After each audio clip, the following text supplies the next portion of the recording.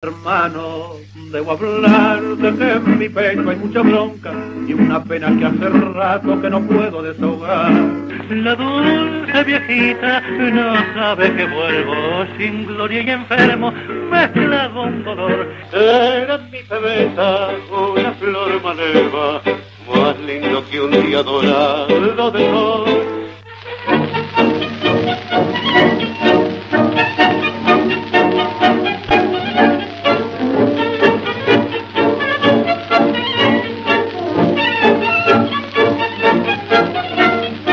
Señores,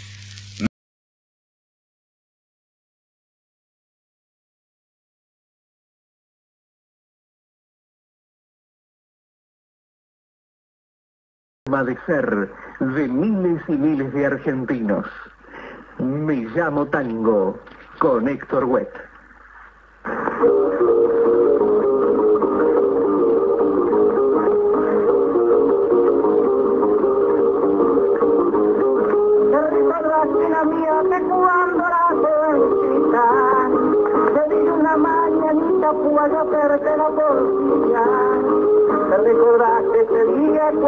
Caía la oración. Miré a tu fogón donde bailando te hallaban. Y piel de gallo punteaban un acto con relación. Este es un criollo argentina, un cantor que cuando canta puramente nos levanta una canción argentina. En letra grande, divina, que puso así un corazón, al que pasó suavemente de desliza, haciendo al ver la querida de una muerta tradición. Bueno, estamos escuchando, por supuesto, la voz de José Razano y un recitado de Carlos Gardel. Esto es histórico, ¿no? Es una grabación, recuerdo, histórica. Y tenemos a alguien muy especial en el aire, ¿eh? que vamos a compartir un, bueno, algunas cositas con esta persona que yo aprecio mucho. Muy buenas tardes, señora Cristina. Buenas tardes, encantada de oírte. Bueno, la- en primer lugar le quiero agradecer la atención de, bueno, de que compartamos unos momentos con algunas preguntas, ¿no? Porque usted tiene muchas vivencias, por supuesto, este, no solamente con todo lo que le contó su papá, sino al lado de grandes artistas y por supuesto al lado de Carlos Gardel. Y voy a presentarla, estamos en comunicación con la señora Cristina Razano Dairoldi, la hija de don José Razano, que fue compañero y amigo de Carlos Gardel tantos años. ¿eh? Así que, eh, ¿quiere decir algo, señora, como presentación? Sí, que estoy muy contenta de estar, de, de poder cambiar unas palabras con vos y con el público que sigue. Bueno, le agradezco muchísimo. A usted, eh, respecto a Gardel, ¿no? Eh, ¿Cómo lo recuerda usted a Gardel? Gardel divino. ¿Cómo, cómo era el trato eh, directo de Gardel y entre usted, Chiquita, y su hermana Pepita? Como si hubiera sido nuestro tío por una ley, no sé, como, como era un gran amigo de mi papá. Él entraba en mi casa y salía como que quería. Él quería muchísimo a mi madre. Iba a la cocina y le pedía comida, se especial, mi mamá cocinaba muy bien. Le pedía ñoquis o tallarines que ella amasaba. Eh, ¿Es cierto que Gardel era como un, como un niño, como un chico Sí. que le mojaba el pan en el tubo y no quería a doña Cristina? Sí, sí, sí, sí, sí, sí. ¿Le desabrochaba el delantal también, me contaron? Claro, se ponía el delantal y, y si, podía meter el pan en, en la salsa, encantado. Claro, Tenía muchísima confianza en mi casa, era como uno más de la familia. Sí. Eh, eh, ustedes, por ejemplo, el trato de ustedes con doña Berta habrá sido intenso, por supuesto, ¿no? Y así inten- muy intenso. Y en mi casa tengo justamente una fotografía que es histórica. Me decía Olivieri el otro día conversando. Vos Sí. sabés que es Olivieri, ¿no? Sí, uno de los grandes coleccionistas, sí, sí. Eh, es una fotografía histórica porque realmente está mi madre, mi padre, doña Berta y doña Anaís, mm, realmente histórica, con nosotras dos. Qué Nosotros bueno. teníamos mucha amistad, mi madre era muy amiga de doña Berta, ¿Cómo era doña Berta, como usted recuerda? muy sencilla, una señora muy buena y muy dedicada a su hijo. Muy dedicada a Gardel. Tenía López y Carlitos. ¿Y Gardel este, la, la quería de una forma, de una manera especial a su mamá? A mi mamá, A, a, no, a su mamá ya nos contó. A la madre A doña Berta, sí. sí, la quería, como no que la quería. La quería y la respetaba, que era lo más importante. Así que, y quería también mucho a doña Anaí, que era la que había protegido a doña Berta. Sí, sí. Este, mm, cuéntenos, eh, Chichita, los, eh, de lo que usted recuerda o lo que le haya contado don Pepe, ¿no? Sé que hay muchos libros que últimamente me parece que es un medio de promoción mentir cuando uno escribe el libro, ¿no? Eso es lo que yo creo. Y se cuentan un montón de cosas eh, que distorsionan un poco, yo creo que es más para la fase comercial que por decir la verdad, ¿no? Y yo creo que la detracción comienza tratando de engañar a la gente, así. Entonces, una de las preguntas que se hace toda la gente, y qué mejor que la hija de don José Razano, de quien, bueno, tuvo los, en los comienzos con Gardel, desde los comienzos con Gardel, Claro. pueda decir, Gardel era francés, Era francés, rotundamente era francés. Mi padre, en el año 23 ellos viajaron a Europa, fueron a España a cantar. Y de España se fueron a Francia. Papá conoció la casa donde Gardel había nacido, la casa de Gardel, el hospital donde Gardel había nacido. Hizo amistad con Gardel había nacido, la casa de Gardel, el hospital donde Gardel había nacido. Hizo amistad con los tíos, sobre todo con Juan.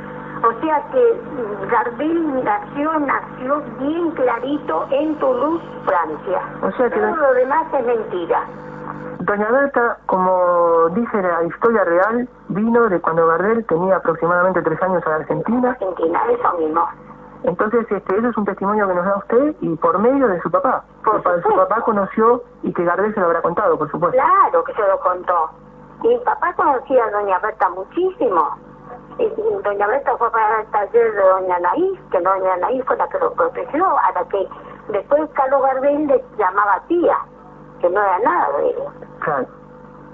Así que, Eh, usted sabe, eh, Chichita, que hay muchos libros Sí. este, de esta gente que yo hablo de lo que ellos escriben, no hablo de ellos, ¿no? Por supuesto que no, no, no, pueden ser muy buenas personas, excelentes personas, podrán ser, sí, pero bueno, están un poco apartados de la historia real. Por Claro. ejemplo, Ricardo Stuni, Liceo Álvarez y un montón de gente sí, que lamentablemente están dentro de la Academia Nacional del Tango y que supuestamente nos representaría a todos los tangueros, ¿no? sí, y pero más representados.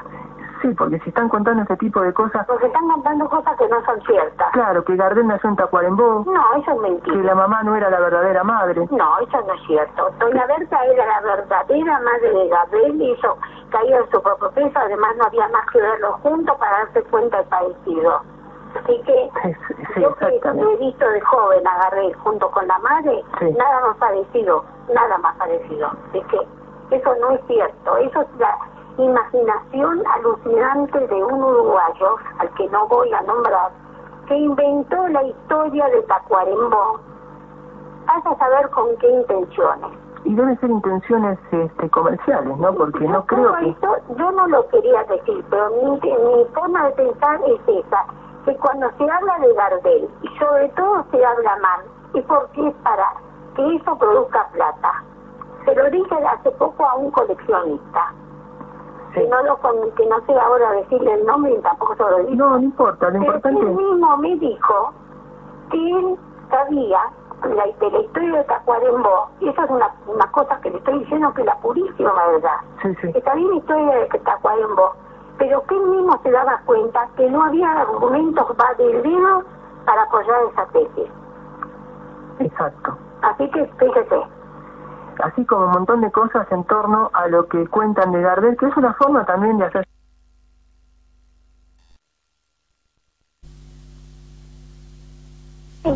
La, última vez que yo lo vi a Gardel, esto te lo digo por la memoria de mi hija muerta. Mi Gardel vino acá con Isabel y comimos en mi casa como siempre. No hubo ninguna discusión. Hablaron como si hubieran estado toda la vida, eh, o hacían sin ningún problema, sin ninguna historia. Isabel la llamó a mamá y le dijo, Cristina, prepara una de tus comidas ricas que yo lo llevo a Carlos. Y nosotros hablaban acá lo más bien, se despidieron y cuando Gardel se fue le dijo a mi mamá, Cristina, ya sabes que puede contar conmigo para siempre. Y en cuanto... Qué bárbaro. Si yo cono- conozco su casa y... Y bueno, y yo sé- ya en el comedor, Sí, en la entrada. claro. Claro. Así que, Qué lujo, ¿eh? de lujo, la verdad, bailar con Gardel. Además, Gardel era divino, divino, era serio, era eh, jocoso, era eh, responsable. Era un buen amigo, buen hijo y creo que fue mm, una excelente persona. Bueno, Pese que a todo. Es un testimonio veraz, segura, el seguro el que nos da usted y qué mejor, ¿no? Qué mejor testimonio que el suyo. Y que, se- que le digo toda la verdad, que es la verdad justa. Perfecto. Bueno, Chichita, eh, realmente eh, me gustaría que en otra oportunidad volver a charlar con usted. Bueno, ¿cómo? Este, No hay y- ningún inconveniente. Bueno, Vos ¿cómo me no? llamás y yo estoy lista. Por supuesto. Entonces, lo último que le digo, que Dios la bendiga, gracias por atenderme No. y vamos a cerrar con la voz de su papá Bueno, y después inmediatamente una versión completa del dúo. bueno, muchísimas gracias. Y un beso grande para todos los que te están escuchando. Bueno, muchísimas gracias, no me corte, eh, No, que no, ahora la... no. Gracias, ¿eh? Chao, hasta pronto.